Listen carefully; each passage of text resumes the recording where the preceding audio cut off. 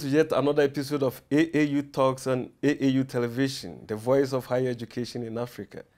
Today, I am in the Kenyan capital, Nairobi, to discuss a very important topic, which is on water resource management. This topic falls under the Sustainable Development Goal 6, which is on water, clean water, and sanitation. And to do justice to this topic is a professor from Jaramogi Oginga Odinga University of Science and Technology. You are following this discussion on all our social media platforms and on our dedicated website, tv.aau.org. I am the sitting host for this episode of AAU Talks. My name is Ransford Bequin. Before we start the program, let's go for a short break.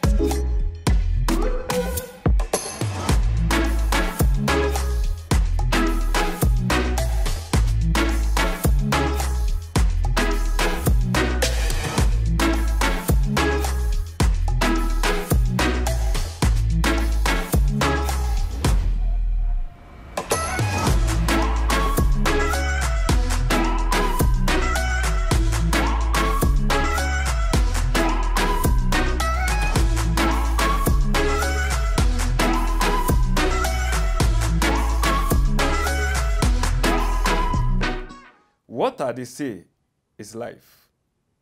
Wherever in the world, if there is no water, there is no life. And even in outer space, there are explorations looking for water as a source of life on other planets. So today's topic is going to be very, very engaging and it's also going to be very educative. And to help me discuss the topic for today is Professor Maurice Nyadawa, who is a civil engineer and lectures at Jaramogi Odinga Oginga University of Science and Technology here in Kenya, and he has specialized in water resource management. Prof, welcome to AAU TV. Thank you, Bonaransfo. To kickstart the discussion, I want to ask a very simple question. Yes, What is water? yes. Water is a natural resource, yeah, which is supporting life, as all people know it. Yeah, that uh, water is a necessity for life, and everybody needs it. So it is one of the natural resources where everybody needs it. It is required even in ourselves, in our body health-wise. So simply everybody, it doesn't uh, need any science or going to school. Everybody will tell you something that they know water. Yes. There is a saying out there that the next world war Yes. may necessarily be on water. Yes. Does this hold true? Eh, yes, the, uh, it may, the world to, to the world scale, I may not take it there, but there's already wars. Water wars are already there. There are a lot of conflicts about water in small, even in Kenya itself. We fight every day in uh, over water over, by small communities where water is scarce, and even within a country's country, we have what is called transboundary waters. These are waters which traverse more than one country. So you have seen a lot of conflicts on water. Yeah, uh, and this not started today. There are water treaties which are even here in Africa, like in the Nile Basin. Why was there a treaty if people could not fight? So there's a lot of conflicts around water. But whether it can escalate to a global war, that one maybe I'm not competent to, to put it at that scale. Yes. Nile Basin is occupied by 10 countries, Okay. yes, including up to Egypt. Uh, up to So Egypt. actually in Africa, it is the largest basin with uh, uh, so much of the transboundary issues. Okay. Yeah, we have a number of them. We have the the, the Niger, yeah, we have the southern, uh, the Volta, uh, we have uh, a number of the transboundary waters. Okay. But uh, what we are saying is that most of the downstream countries use water which don't come within their boundaries. That's what causes problems. Okay. Like now, you'll find the countries which are not within the Lake Victoria region using a lot of water. As the Nile traverses going, it's tra traversing an arid countries. Okay. So you find their use or their demand might, might be high. They might be interested on how the upstream countries are using. And those are the things which cause conflicts. Mm. Yeah. The more reason why they say that water Yeah. will be the source of um, conflict, Yes. a global world conflict, because now the cost of a bottle of water is almost like the cost of you know a bottle of beer. Yes. Yes. Yes. But now let's move the discussion Yes. forward. Yes. Why was there the need for water to appear consistently in the Sustainable Development Goals? Yes. Because it falls under two or three Yeah. development goals. How? Why is that important? Yeah, the history of water. Water actually, the importance of thinking about water is not a modern thing. You see civilization attached to water. Mm. Yeah. Wherever you saw civilization taking place in man, they were near water sources. And Africa is lucky, this history puts it that we have the Nile where you, uh, the human civilization started from. Now, uh, the question of the world trying to give priority to water issues is also something very long. Actually, even if you don't, if you start tracing, you will see that in the 90s we had the water and sanitation decade. Mm-hmm. Then after that we came to the MDGs. Yes. If you read through the MDGs, you will find that in goal seven of the MDGs, which ended up in 2015, yeah. which was talking of environment, water is encapsulated inside there. Hmm. We are going on a short break, and when we come back, we are going to delve deeper into the African water vision. Stay tuned.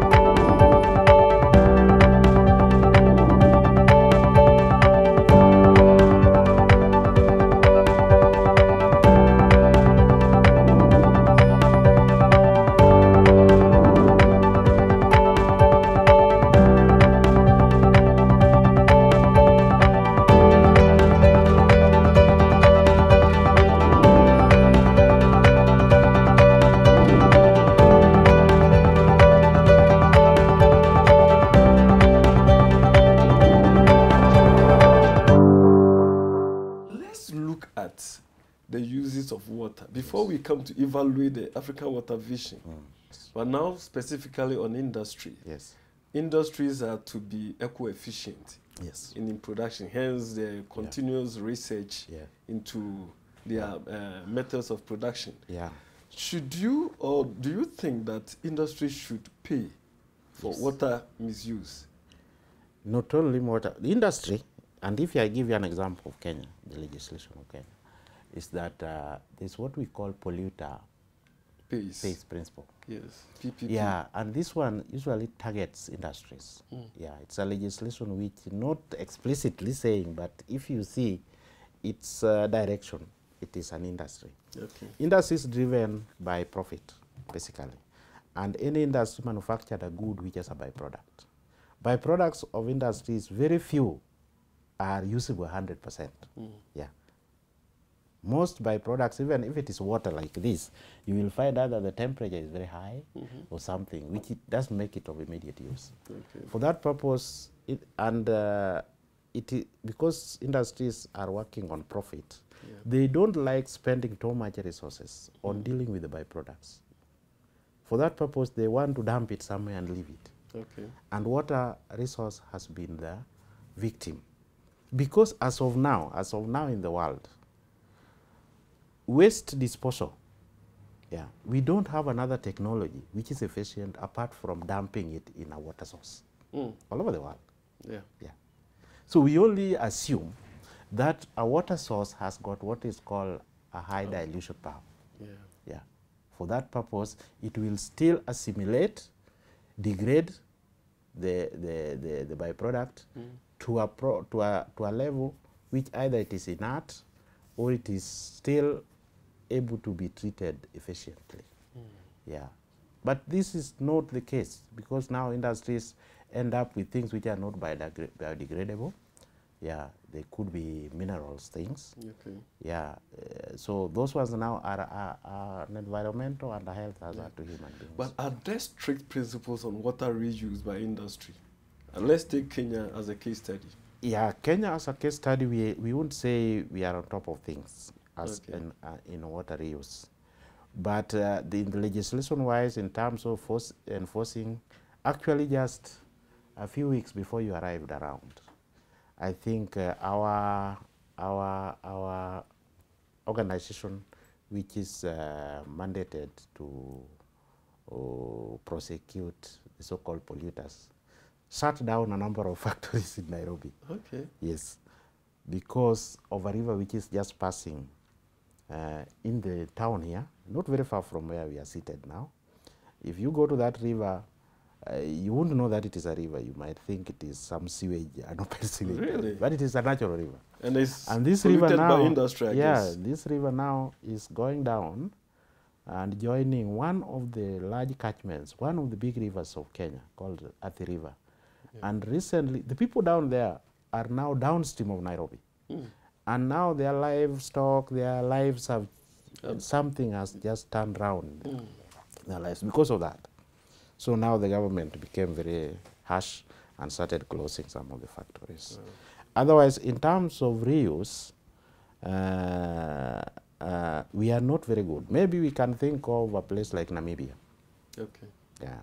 I think in Africa, maybe Namibia is on top of things because of less surface water available. Mm. Yeah, Namibia has got the vast of it is desert. Okay. For that purpose, they are very good, uh, good uh, reuse uh, systems. And reuse means that you can even turn sewage Mhm.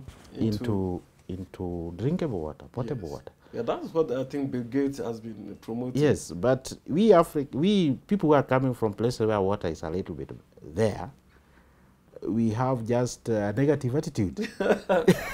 Yeah. All the water which abstracted it from sources of Africa is going in agriculture. Mm. And this agriculture we are talking about, that agriculture potential of Africa is still 30%. The lands which are, uh, which are uh, supposed to be cultivated under irrigation, only 30. The, the other 30% of the arable land is using 80% of the water which is uh, being withdrawn. 30% of the arable land, Is what is under, uh, Yes. is, uh, and that uses 80% of Yes, the, yeah, the water that yeah. we use. And again, that 80% of the water we take to agriculture, we lose 70% in poor conveyance systems. And Africa is leading this. Everything- Here is enough a government who tries to set some place for irrigation. Mhm. And ours is just digging some canals and trying to say, putting a is a dam, dam. and then say, ah, now you people are okay. Leaving it? now the conveyance and the efficiency to people who actually there are no maintenance, those canals, they are, it, is, it is bad. So and nobody lies the efficiency of the policies that we develop? Uh, yeah, I think the problem as of now, uh, of uh, Africa is is is uh, is is treating in very interesting boundaries. One thing, our water available is not that much. Yeah, the African rainfall uh, average is around uh, 670 millimeters. Yeah, but we have the extremes. We have places like near your place, the, the Guinea area, yeah, where uh, the annual rainfall is around uh, 1,400, leading by the so-called the African islands, the Madagascar down this side and Mauritius, having rainfall of around 1,700 millimeters. Right. But now, when you talk of the Sahel, the, the near the near the Sahara here, we are having 70 millimeters. That is annually. small. Yes. In East Africa region here, we are talking about 800 there and there and there. So currently, the so-called uh, the the countries which are water scarce. There's what we call water scarce and water stress. Okay. Yeah. The water scarce countries are countries which have got available water at around less than a thousand Okay. meter Milli- cubed per person per day. Less than a Means if you use, in, if you are in those countries and you tend to use more than a thousand, yeah, meter cubed per person per day, and you okay, the recommended is that it should be more than two thousand. it should be more than 2,000. Yes. So if you use less than a thousand, Yeah, and there are many countries. Yeah, we are talking about 14 countries somehow In close Africa? to there in Africa, which are falling within, and Kenya is one of them. Kenya Kenya's the available water is uh, around uh, 700. Viewers have been talking to Professor Maurice Nyadawa, who is um, um, a professor of civil engineering at Jaramogi Oginga Odinga University of Science and Technology here in Kenya. The focus had been on water.